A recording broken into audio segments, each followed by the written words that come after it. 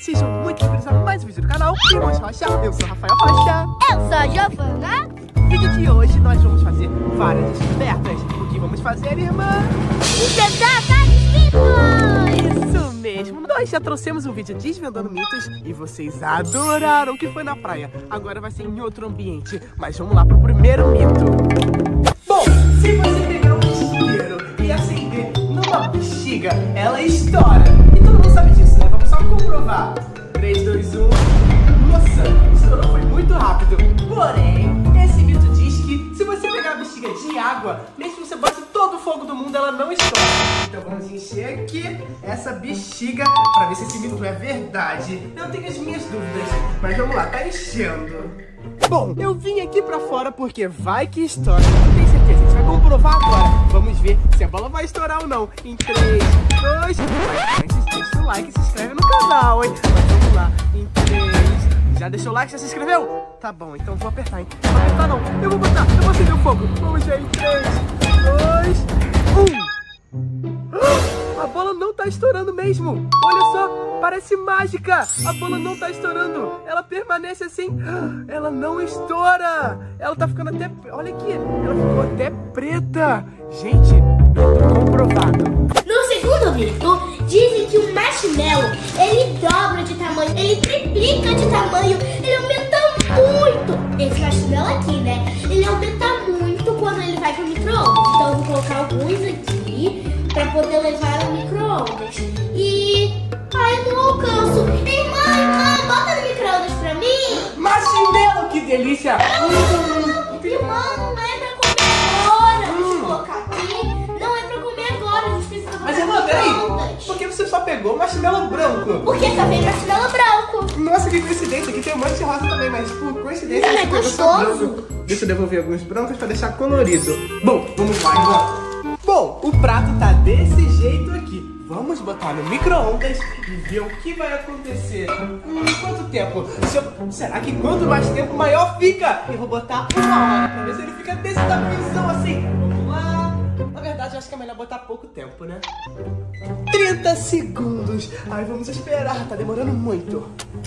Irmão, tá acabando. 3, 2, 1. Acabou. Vamos ver em 3, 2, Peguei 1. os garfos pra gente comer. Irmã, olha o tamanho! Ele tava pequenininho e ficou desse tamanho todo. Calma, olha só, pega isso, pega, pega, pega outro. Olha o tamanho que tava antes e o tamanho que ficou. Ah, mas já diminuiu. Vamos botar mais tempo pra ver se fica maior ainda. Eu vou botar.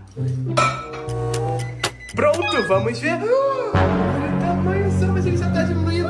Olha só, vamos comparar antes e depois. Nossa, aumentou bastante. Vai, irmã. Vamos ver se tá bom. Olha só, tá saindo muita fumaça. Que isso, virou uma gororoba. Que negócio Ele parece queimado. e eu acho que queimou, olha aqui.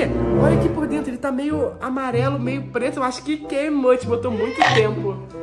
Tá com gosto de queimado, irmã? Não. Calma, será que virou caramelo? Deixa eu ver. Quando coloca na boca, ele fica duro. Hum, hum, hum, hum, hum, hum, mas fica bem bom. E pro próximo mito, dizem que se você pegar uma folha como essa aqui, exatamente igual a essa, você não consegue dobrar ela pela metade mais de sete vezes. E agora a gente vai comprovar isso e ver, porque eu vou dobrar ela mais nove vezes. Vamos lá. Primeira vez tem que dobrar assim pela metade certinho, né? Primeira dobra completa, não tem nenhum problema. Agora vamos pra segunda dobra. A segunda dobra. Oi, Luca! Fazendo. Então, Lucas, eu tô comprovando mitos. Ai, ai, você nunca vai conseguir. Você já viu esse mito que se você não consegue dobrar a folha mais de sete vezes? Já, e você nunca vai conseguir. Você acha que você- é, é mentira esse mito ou é verdade? É mentira. Calma, eu não entendi nada. Bom, eu já dobrei duas vezes. Eu vou pra terceira agora. Terceira dobra completa. Eu confesso que tá ficando um pouco difícil já. Vamos pra quarta dobra. Gente, tá ficando difícil mesmo. Agora na quinta dobra. Já foram cinco dobras, mas tá bem difícil. Faltam mais duas. Vamos lá. Sexta dobra. Agora tá muito pesado. Mas olha, tá bem pequena. Agora vamos pra sétima. Em 3, 2. Ui, nossa, tá muito difícil dobrar pela sétima. Não dobra de jeito nenhum. Vai, tá dobrando, tá dobrando. Tá indo, tá indo, tá indo, tá indo. Caramba, tá muito difícil. Isso não vai de jeito nenhum. Pronto, calma. Dobrou? Não, não tá dobrando. Eu te falei desde o início, não precisa precisava fazer essa força toda. É, terceiro mito comprovado. É impossível dobrar sete vezes ou mais. E o próximo mito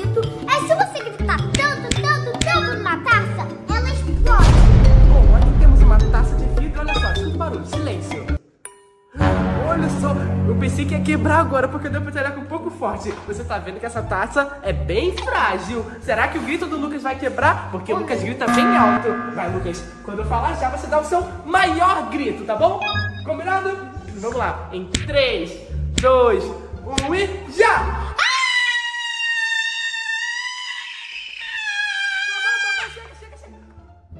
Os meus ouvidos, eu acho que já eram. Ah, Mesmo com esse grito enorme, a taça não quebrou. Então eu acho que esse mito é. Vídeo para mim poder trocar o meu irmão. E meu irmão, ele adora beber água. Ele tá sempre de um lado pro outro, toda hora pedindo um copo d'água. Ou ele vai lá, enche um copo d'água, bebe um copo d'água. E Por isso que às vezes ele anda com uma garrafona gigante. Então eu vou fazer uma trollagem com ele. Eu vou colocar umas orbes transparentes que estão aqui. Que quando ela vai pra água, não dá pra ver nada. Então eu vou fazer essa trollagem com meu irmão. Vou colocar as orbes aqui, prontinho. Não dá pra ver nada, mas as orbes já estão aqui. Ai, eu vou ir lá trollar ele. Eu tirei um pouquinho d'água pra ele. No primeiro gole que ele beber, ele já sentiu. Então, vamos lá, menino. Oi, irmã! Peraí, que eu tô me equilibrando aqui agora. É algum mito que você tá fazendo? Não, é só uma brincadeira. É bem legal andar com dois Tá, Mas, patinetes. irmão, sai sai daí que eu tenho uma pergunta. Uma Nossa, pergunta que água geladinha. Isso que eu ia fazer agora. Ah. É a pergunta que eu ia fazer. Irmão, você tá com sede? Sim. Gente, isso aqui é pra mim? Calma, isso tá muito estranho. Você nunca faz nada pra mim, agora você tá trazendo um copo de água pra mim. O que, que você quer? Fala a verdade. Nada, Você pegou o copo de água pra mim e não quer nada em troca? nada. Tá bom então, né? Vou tomar. Eu tava com bastante sede, porque isso aqui dá sede. Que isso? Tava cheio de bolinha? Giovana, o que que é isso? Bem que eu falei que tava estranho. Eu já entendi tudo. Eram orbes. Ai, Giovana, eu vou pegar você. Pode vir aqui. Cortar cebola faz qualquer pessoa que exista nesse mundo chorar. Pode ser a pessoa que menos chora do mundo, mas cortar a cebola faz chorar. E esse mito diz que se você encher a boca de água e cortar a cebola, você não chora. Então a gente vai ver se isso é verdade. Primeiro eu vou encher a boca.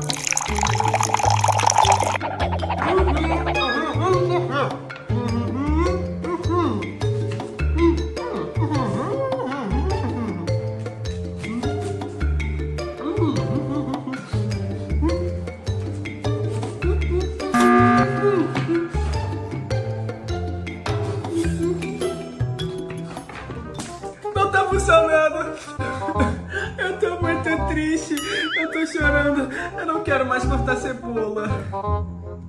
O próximo mito é que se você bocejar perto de alguém, vai fazer essa pessoa bocejar também. O Lucas tá logo ali e eu vou testar com ele. Vamos lá. Lucas, o que você tá lendo? O que, que é isso? Vendo os Vingadores. Nossa, que legal, mas eu tô muito sabe? Ai, vamos ver, Lucas. Você tá com sono também?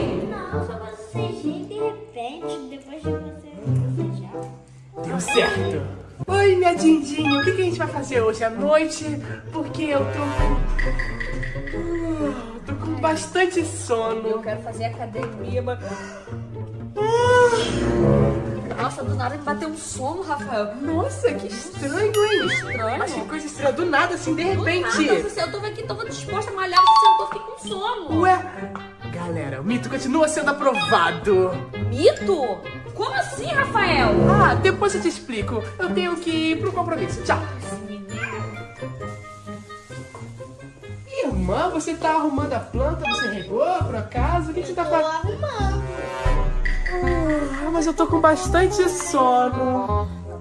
Ah. Irmã, o que, que é? Você tá com sono também? Não sei, eu tava aqui tão disposta arrumando. Ah, Nossa, irmã, que estranho. Eu fiquei com uma dúvida. Vocês ficaram com sono também comigo bocejando? Comenta aí. No mito de agora, dizem que se você abrir uma Coca-Cola como essa, vamos abrir e pegar um copo e fazer uma série de movimentos e depois bater, a Coca-Cola vira um vulcão e começa a subir, sair gás e levantar e sair pra cima, como se fosse jogando mentos. É uma doideira. Bom, vamos ver se é verdade. No vídeo que eu vi, a pessoa faz isso aqui, depois bate. Tem uma borbulhada. Deixa eu fazer de novo. Depois bate. Olha, que isso, ela subiu mesmo, é verdade, vocês viram? Deixa eu fazer mais um pouquinho aqui. Vou tirar bastante agora, parece que quanto mais eu giro, mais vai. 3, 2, 1, bate! Agora foi menos, eu acho que já acabou com o gás da Coca-Cola. Aprovável, mas eu esperava mais. Mas então, galera, esses foram os mitos de hoje. Se vocês querem mais, é só deixar o like e comentar. Quero mitos It's